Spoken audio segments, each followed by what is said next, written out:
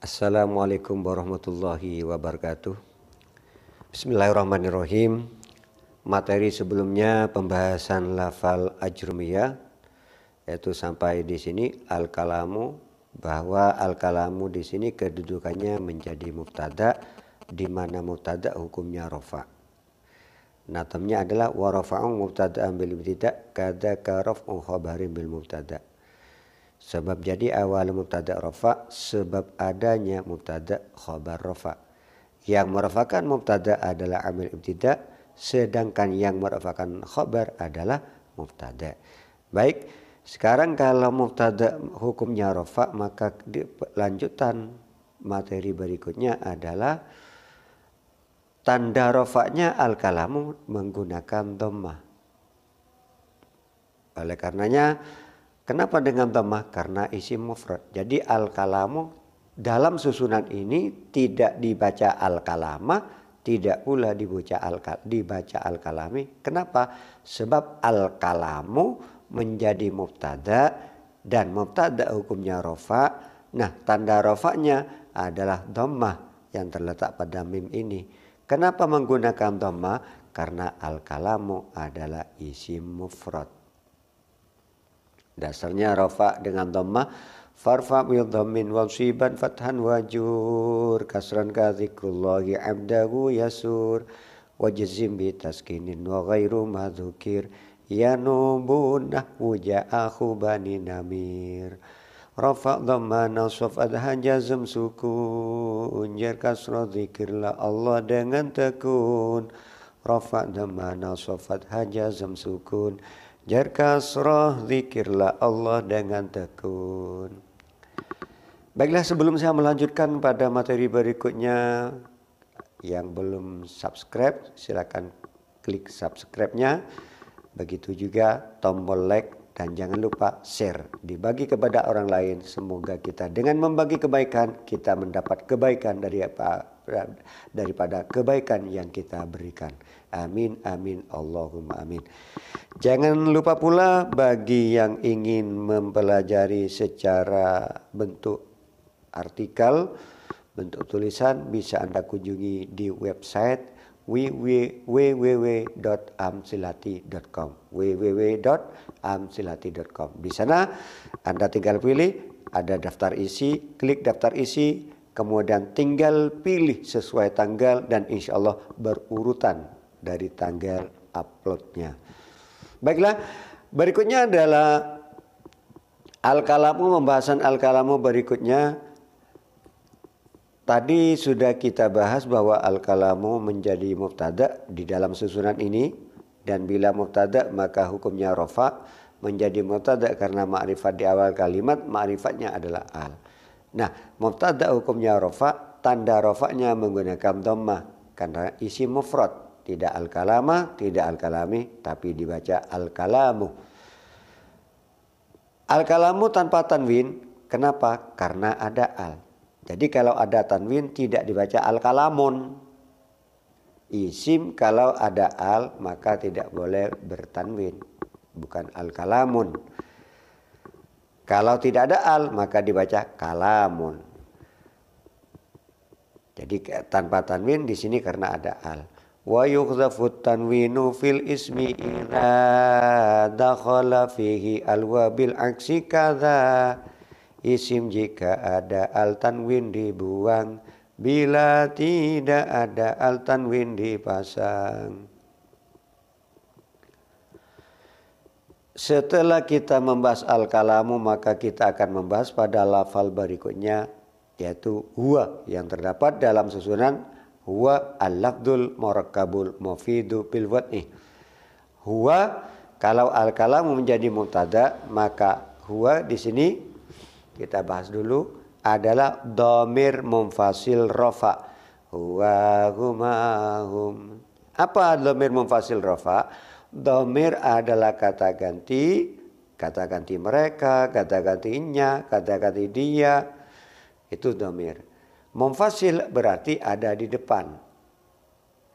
Sedangkan selalu mandiri, tidak menempel. Memfasil selalu mandiri, tidak menempel pada lafal lain. Itu memfasil. Rafa dalam kedudukannya dalam bahal rofa. Jadi domir mumfasil rofa adalah domir mumfasil yang menempati tempat yang semestinya dibaca rofa. Disebutlah mahal rofa. Untuk apa domir mumfasil gua? Adalah gunanya untuk mufrad mudzakkar. Sebelumnya sudah kita bahas bahwa al-kalamu adalah uh, di rumus A1 adalah isi ma'rifat, kemudian mu'rab, mudzakkar dan mufrad. Jadi huwa maka sudah cocok di sini sudah sesuai. Kenapa menggunakan huwa? Karena huwa digunakan untuk mufrad mudzakkar yaitu menunjukkan pada al-kalam sebagai ganti atau membahas tentang huwa iya itu adapun al-kalam. Jadi tidak menggunakan al-kalamu hiya atau al-kalamuhuma atau al-kalamuhum, tidak, tapi menggunakan huwa. Kenapa? Karena al-kalamu adalah lafalnya mudzakkar serta mufrad. Maka digunakanlah domir mufasil yang untuk mufrad mudzakkar. Begitu seterusnya. Jadi bila mu, bila lafalnya adalah muannas maka yang digunakan adalah domir muannas, baik mufrad, musanna atau jamaknya. Semua dhamir hukumnya mabni wa kullu mutmarin lahul bina yajib wa lafdhu ma jurraka. Semua dhamir juga mabni hukumnya lafadznya seperti lafad nasabnya. Jadi tidak berubah-ubah yang namanya mabni sampai kapan pun ya tetap huwa. Itu namanya mabni. Mabni apa huwa? Mabni fathah. Tidak hui atau hu tapi tetap dibaca huwa. Itulah yang disebut dengan mabni. Al-kalamu adapun yang dinamakan kalam, yang adapun yang dinamakan kalam, huwa itu adapun kalam. Jadi ada yang mengatakan huwa iyo kalam, ada yang mengatakan demikian. Berarti huwa dan lafal setelahnya, isim setelahnya ini menjadi khobar daripada al-kalamu.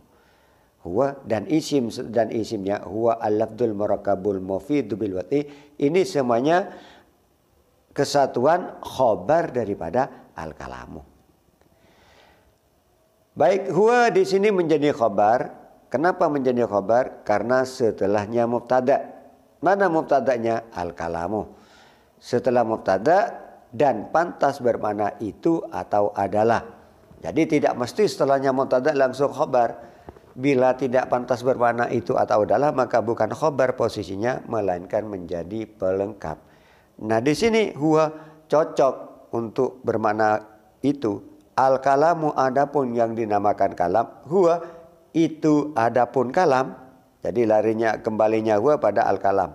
Huwa itu adapun kalam pantas bermana itu maka huwa menjadi khabar. Khabar adalah bagian yang menyempurnakan faedah.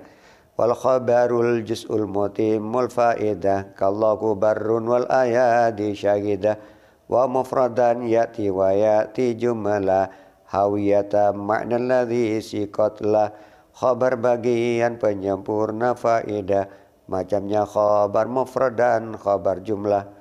Jadi khabar wa posisinya menjadi khabar sebab setelah mubtada dan pantas diberi makna itu atau adalah.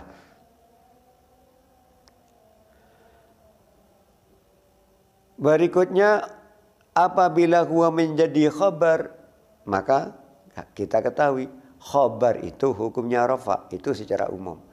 Khobar hukumnya rofa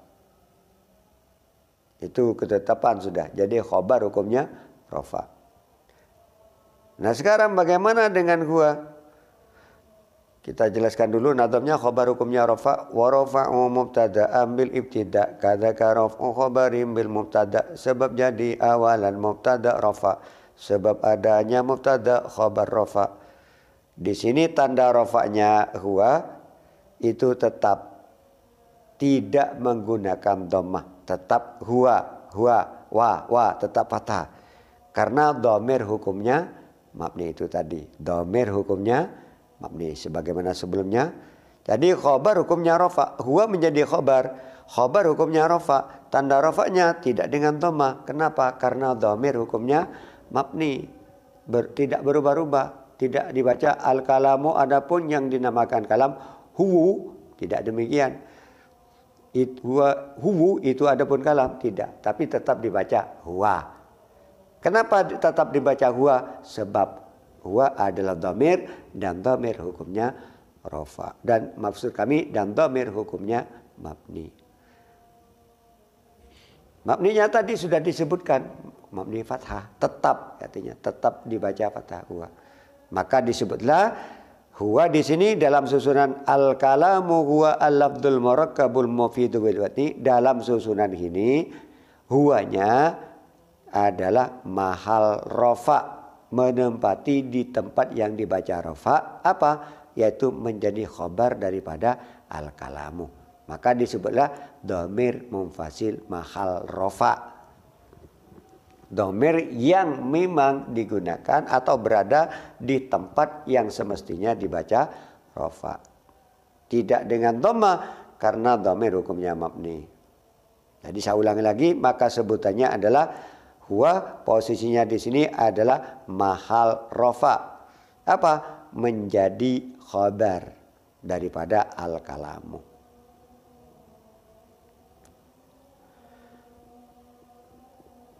Khobar ada dua. Ada khobar mufrad, ada khobar ghairu mufrad. Yang khobar mufrad juga ada dua. Ada mustaq, ada khobar mufrad yang jamid. Masing-masing juga dibagi dua. Ada khobar mufrad mustaq mudhaf, ada khobar mufrad mustaq yang ghairu mudhaf. Begitu juga ada khobar mufrad jamid mudhaf bentuknya bentuknya mudhaf jamid tapi bentuknya mudhaf. Ada juga khobar mufrad jamid yang gairu mudhaf. Jadi ada mustaq yang bentuknya susunan mudhaf, ada khobar mufrad mustaq yang susunannya tidak mudhaf. Artinya bukan gairu mudhaf. Begitu pula dengan jamid, ada yang bentuknya khobar mufrad jamid yang susunan mudhaf dan mudhaf ilaih, ada khobar mufrad jamid yang gairu mudhaf tidak berbentuk susunan modaf dan modaf ilaih. Tentunya mustaq dan jamid ini mustaq artinya berubah apa kata yang dibentuk dari lafal yang dibentuk dari kata lain atau isim yang dibentuk dari kata lain sedangkan jamid adalah benda-benda beku. Akhir khabar ghairu mufrad apa khabar ghairu mufrad? Lebih jelasnya nanti mustaq dan jamid akan ada pada materi berikutnya. Khabar ghairu mufrad seperti seperti apa khabar ghairu mufrad? Adalah khabar ghairu mufrad itu juga ada dua, ada khabar jumlah, ada khabar syibhu jumlah. Itu yang ghairu mufrad. Kalau tadi yang mufrad ada yang mustaq, ada yang jamid, ada yang mudhaf, ada yang ghairu mudhaf. Sekarang kalau yang khabar ghairu mufrad, khabar jumlah ada khobar syibhu jumlah. Ya bentuk yang khobar ghairu mufrad yang khobar jumlah seperti apa?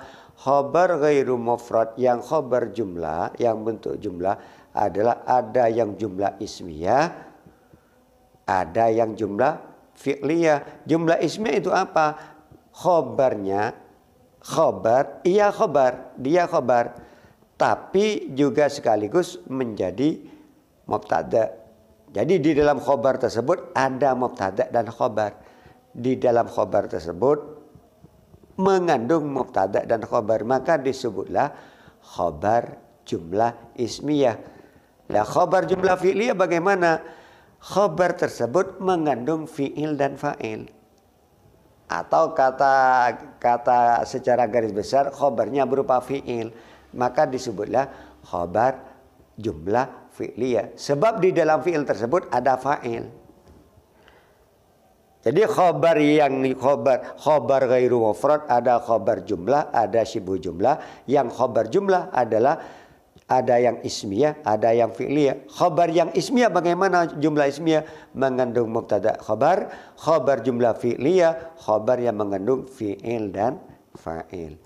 Kalau yang syibu jumlah bagaimana khobar ghairu mufrad yang syibu jumlah yaitu khobar yang bentuknya berupa huruf berupa jar majrur atau khobar gairu mufrad juga syibu jumlah apabila bentuk khobarnya tersebut khobarnya berupa berupa dorob madrub.